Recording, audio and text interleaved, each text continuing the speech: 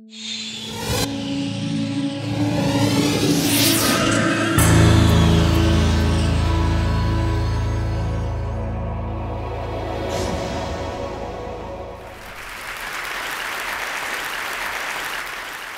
name is Ryan Lobo, and I've been involved in the documentary filmmaking business all over the world for the last 10 years. During the process of making these films, uh, I found myself taking photographs, often much to the annoyance of the video cameraman. I found this photography of mine almost compulsive, and at the end of a shoot, I would sometimes feel that I had photographs that told a better story than a sometimes sensational documentary.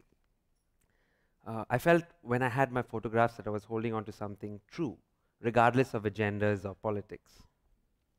In 2007, I traveled to three war zones. Uh, I traveled to Iraq, Afghanistan, and Liberia.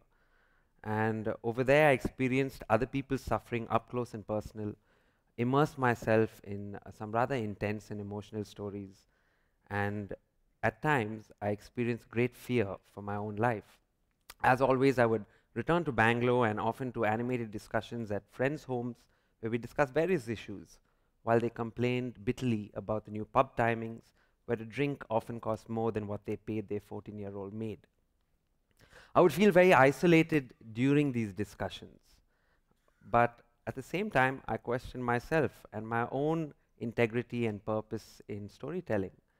And I decided that uh, I had compromised just like my friends in those discussions, where we, um, where we made, where we told stories in contexts we made excuses for, rather than taking responsibility for them. I won't go into um, details of what led to a decision I made, but let's just say it involved alcohol, cigarettes, other substances, and a woman. uh, I, I basically decided that it was I not the camera or the network or anything that lay outside myself, that was the only instrument in storytelling truly worth tuning. In my life, when I tried to achieve things like success or recognition, they eluded me. Paradoxically, when I let go of these objectives and worked from a place of compassion and purpose, looking for excellence rather than the results of it, everything arrived on its own, including fulfillment. Photography transcended culture, including my own, and is for me a language which expresses the intangible and gives voice to people and stories without. I invite you into three recent stories of mine, which are about this way of looking, if you will, and uh, which I believe exemplify the tenets of what I like to call compassionate storytelling. In 2007, um, I went to Liberia, um, where uh, we, a group of my friends and I did an independent self-funded film still in progress on a very legendary and brutal warlord named General Butt Naked. His real name is Joshua, and he's pictured here in a cell where he once used to torture and murder people, including children. Joshua claims to have personally killed more than 10,000 people during Liberia's civil war. He got his name from fighting stark naked and is probably the most prolific mass murderer alive on earth today. This woman witnessed the general murdering her brother. Joshua commanded his child soldiers to commit unspeakable crimes and enforced his command with great brutality. Today, many of these children are addicted to drugs like heroin and they're destitute, like these young men in the image. How do you live with yourself if you know you've committed horrific crimes?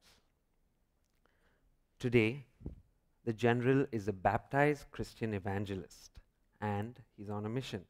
We accompanied Joshua as he walked the earth, visiting villages where he had once killed and raped. He sought forgiveness and he claims to endeavor to improve the lives of his child soldiers. During this expedition, I expected him to be killed outright, and us as well. But what I saw opened my eyes to uh, an idea of forgiveness which I never thought possible. In the midst of incredible poverty and loss, people who had nothing absolved a man who had taken everything from them. He begs for forgiveness and receives it from the same woman whose brother he murdered. Senegalese, the young man seated on the wheelchair here, was once a child soldier under the general's command. until he disobeyed orders and the general shot off both his legs. He forgives the general in this image. He risked his life as he walked up to people whose families he'd murdered. In this photograph, a hostile crowd in a slum surrounds him, and Joshua remained silent as they vented their rage against him. This image to me is almost like from a Shakespearean play, with a man surrounded by various influences, desperate to hold onto something true within himself in a context of great suffering that he has created himself. I was intensely moved during all this, but the question is does forgiveness and redemption replace justice? Joshua, in his own words, says that he does not mind standing trial for his crimes and speaks about them from soapboxes across Monrovia to an audience that often includes his victims. A very unlikely spokesperson for the idea of separation of church and state. The second story I'm going to tell you about is about a group of very special fighting women with some rather unique peacekeeping skills. Liberia has been devastated by one of Africa's bloodiest civil wars, which has left more than 200,000 people dead, thousands of women scarred by rape, and crime on a spectacular scale. Liberia is now home to an all women United Nations contingent of Indian peacekeepers. These women, many from small towns in India, help keep the peace far away from home and family. They use negotiation and tolerance more often than an armed response. The commander told me that her women could gauge a potentially violent situation much better than men, and that we were definitely capable of diffusing it non aggressively. This man was very drunk, and he was very interested in my camera until he noticed the women who handled him with smiles and AK 47s at the ready, of course. this contingent seems to be quite lucky, and it has not sustained any casualties even though dozens of peacekeepers have been killed in Liberia, and yes, all of those people killed were male.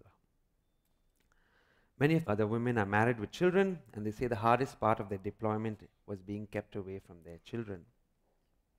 I accompanied these women on their patrols and watched as they walked past men, many who passed very lewd comments incessantly. And when I asked one of the women, what about the shock and awe response, she said, don't worry, same thing back home. We know how to deal with these fellows, and ignore them. in a country ravaged by violence against women, Indian peacekeepers have inspired many local women to join the police force. Sometimes, when the war is over and all the film crews have left, the most inspiring stories are the ones that float just beneath the radar. I came back to India and uh, nobody was interested in buying the story. And one editor told me that she wasn't interested in doing what she called manual labor stories. In 2007 and 9, I did stories on the Delhi Fire Service, the DFS, which during the summer is probably the world's most active fire department. They answer more than 5,000 calls in just two months, and all this against incredible logistical odds like uh, heat and traffic jams. Something amazing happened during this shoot. Due to a traffic jam, we were late in getting to a slum, a large slum which had caught fire. As we neared, Angry crowds attacked our trucks and stoned them, like hundreds of people all over the place. These men were terrified as the mob attacked our vehicle. But nonetheless, uh, despite the hostility, the firefighters left the vehicle and successfully fought the fire, running the gauntlet through hostile crowds and some wearing motorbike helmets to prevent injury. Some of the local people forcibly took away the hoses from the firemen to put out the fire on their homes. Now, hundreds of homes were destroyed, but the question that lingered in my mind was what causes people to destroy fire trucks headed to their own homes? Where does such rage come from? And how are we responsible for this?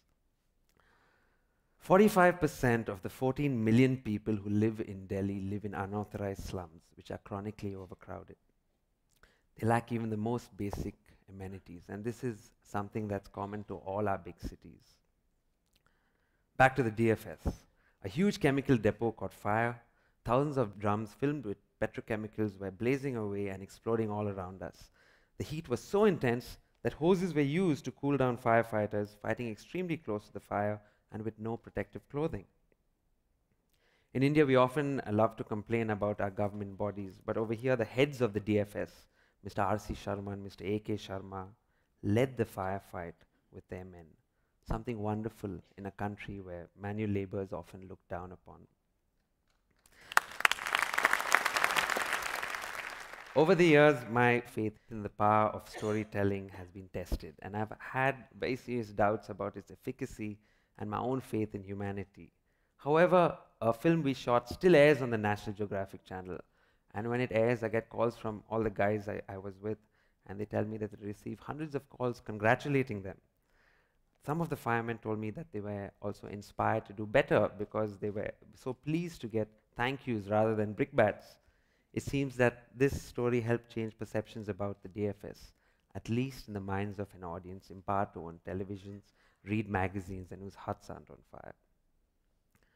Sometimes focusing on what's heroic, beautiful, and dignified, regardless of the context, can help magnify these intangibles in three ways in the protagonist of the story, in the audience, and also in the storyteller. And that's the power of storytelling. Focus on what's dignified, courageous, and beautiful, and it grows. Thank you.